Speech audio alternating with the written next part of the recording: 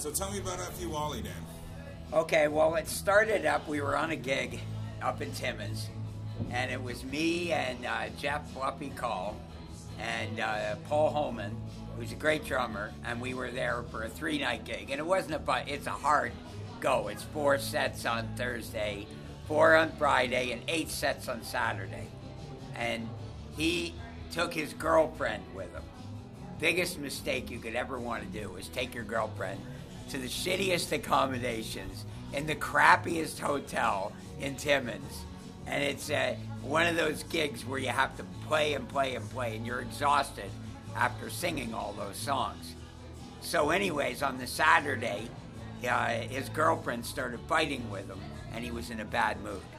So he was getting progressively more and more depressed all day, and he was moping around on stage. He wasn't singing, he wasn't doing his job, and I was getting more and more pissed off as the night went on.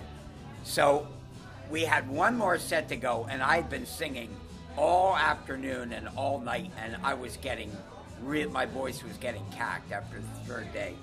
And I just came to him after that third set, and I said, "Listen, buddy," says, "I don't care about your girlfriend. I don't care about anything. This is a job, and you're going to sing, and you're going to put a smile on your face, and do your job." And he said, "Fuck you, Wally. I quit."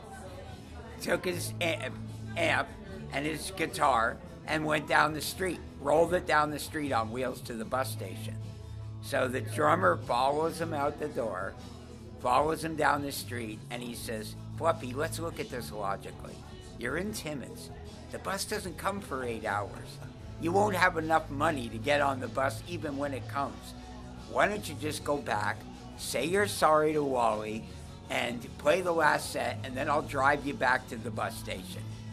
And so he agrees to do that. He comes back, walks in the bar with his amp and his bass, and proceeds to come over to me. And by this time, he's crying his eyes out, saying, I'm sorry, Wally. I'm sorry. And I said, I don't want to hear it. Just go over there, plug in. We got another set to do. And so we plug in, we start playing Sweet Home Alabama, and the dance floor fills up with people. And I said, This is the most bizarre night of my life. I've got to write a song about it. So that's where Fuck You Wally came came from. And it has to be, thought to myself, it has to be a song that just typifies being on the road with a band and it's your last day and you're so sick and tired of each other and you hate each other and you just want to go home and you're sleep in your own bed and and the whole nine yards. So that's what Bucky Wally's all about. So I wrote the song and I started playing it here at McGradie's because it's the only place that'll let me play it because everybody else I got fired from Rockin' Docs for playing it. So like, like at least Sam is open minded enough to allow me to play it because it's a dirty song.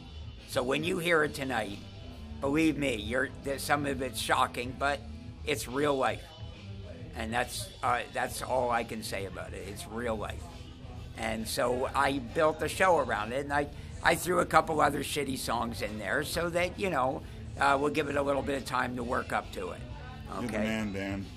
F you, Wally.